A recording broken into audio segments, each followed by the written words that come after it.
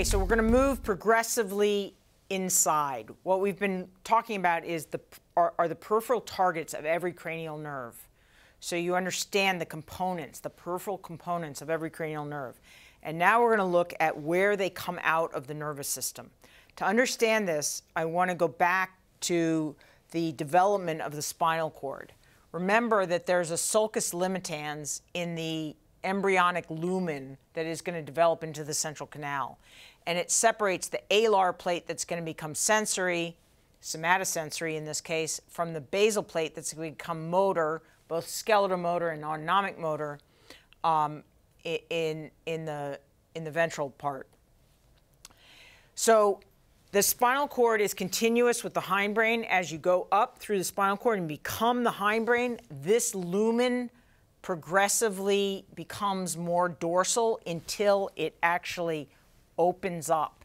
And you can see that it opens up, and so that this then becomes over here. So this is this lateral part. This is the basal part. So in the hindbrain, sensory is dorsal to motor. In the, I'm sorry, in the spinal cord, sensory is dorsal, motor is ventral. In the hindbrain, sensory is lateral and motor is medial. Okay? And we can go one step further. This is somatosensory. This is, uh, there's a, a column in here which is going to be autonomic motor and then skeletal motor. Okay, so with that, we're going to make that a little more complicated. Um, here's motor, here's sensory, and we're going to now place the various cranial nerves, the brainstem cranial nerves. This is not optic and not olfactory. We're going to place the brainstem cranial nerves on this uh, diagram. So the ones that go out to somatic muscle are 3, 4, 6, and 12, oculomotor, uh, trochlear, abducens, and hypoglossal. The ones that go to branchial musculature uh, uh, are, are, facial. Um, the ones that carry somatosensory information in is trigeminal and viscerosensory are glossopharyngeal and vagus, and special sensory, vestibulocochlear, is coming in most, uh, most laterally. So you notice I, say that, say, viscer that um, the vagus nerve is viscerosensory. Well, as you know, the vagus, vagus nerve actually has five components, and the one that's affected in a vagal lesion is, in fact, the branchial motor component. But the exit point is according to what the largest anatomical uh, grouping of fibers is. And in the case of 9 and 10, the greatest number of fibers uh, in, in glossopharyngeal and vagus have to do with viscerosensory, bringing information in from the, the viscera. Um, and the greatest number of fibers in the trigeminal nerve is not to do with chewing, which is a branchial motor muscle, but it has to do with somatosensory in from the face. The largest component of the facial nerve is the branchial musculature um, innervation of the muscles of facial expression. Great. So that's a so that's a, a rough um, guideline. So essentially, if you're looking at a brain and all of the cranial nerves are going to exit on the ventral surface except for one, if you see a nerve that's exiting dead midline, well, what could it possibly be? Can it be sensory? No, it can't. It has to be motor. And not only does it have to be motor, but it has to be somatomotor. So if it's, if it's exiting close to the midline, your only choices are 3, 4, 6, and 12. If it's, and if, it's, if the exit point is um, lateral, then you have to be sensory. You can't be motor, and so on. Okay, so now let's go and let's let's assign let's find the exit points for every single uh, cranial nerve. So this is a stylized uh, version of the base of a brain. This is taken from uh, the Museum of Comparative Anatomy and Paleontology in Paris. And it's, it's a lovely diagram uh, of a brain. Um, usually it's, it's hard to find all the cranial nerves intact on a single brain specimen. So we're going to use this. So the first uh, cranial nerve, olfactory, comes out from this olfactory bulb, and uh, neurons are actually coming from the nasal epithelium, sending their axon, axons through the cribriform plate to here. The optic nerves are right here and here. These optic nerves are sending an optic, the optic nerve goes out and reaches the retina, which sits about here on these indents.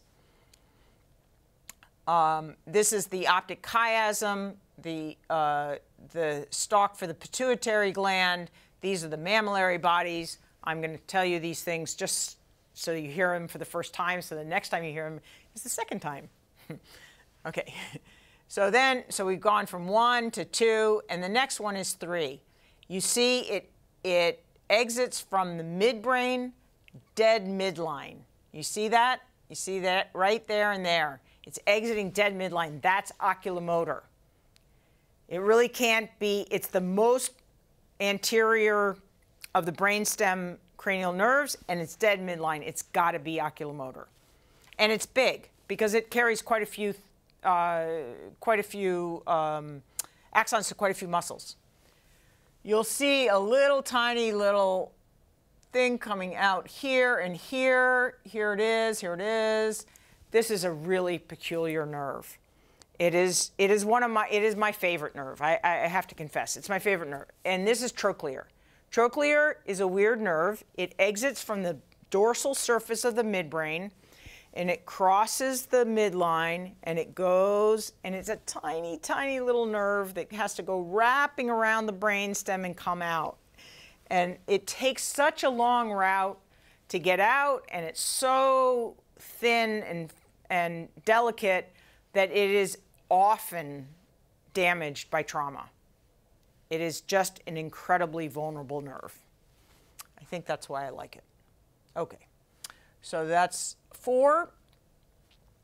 This large nerve on the side of the pons, this is the trigeminal nerve. This is mostly carrying sensory information in from the face uh, and oral cavity. It also carries information out to the chewing muscles. Then we have six, which, so what we're going to see is that six through eight all line up along the junction between the pons and the medulla. Here's the pons, here's the medulla. Six, seven, eight. Six, seven, eight. Six is midline.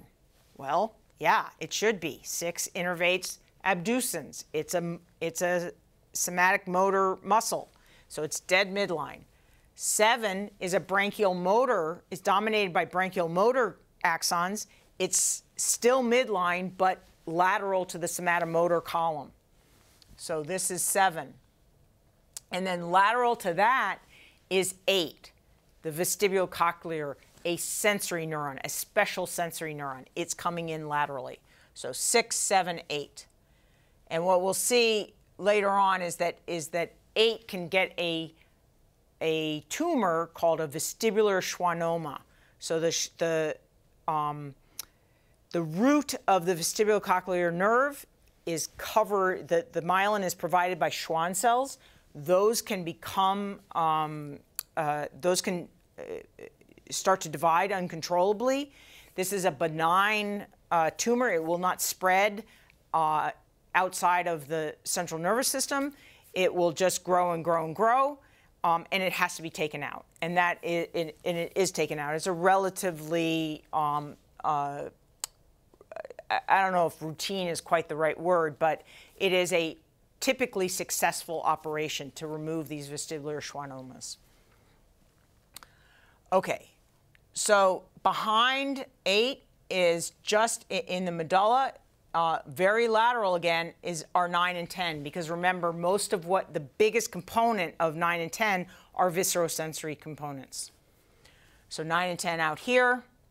11 is this is this big nerve that's coming out of the spinal cord. Remember that the foramen magnum is about here. So it's coming out of the spinal cord, coming into the cranium. That's spinal accessory. And finally, we go up back midline. We go right here, and that is uh, 12. So uh, that's hypoglossal. Okay, so those are the exit points. Um, they're important. And, and for example, one of the importances is, it can be illustrated with this to go back to the vestibular schwannoma. If you have a vestibular schwannoma, it's sitting and it's growing around the root of the vestibulocochlear nucleus. Well, imagine that it continues to grow.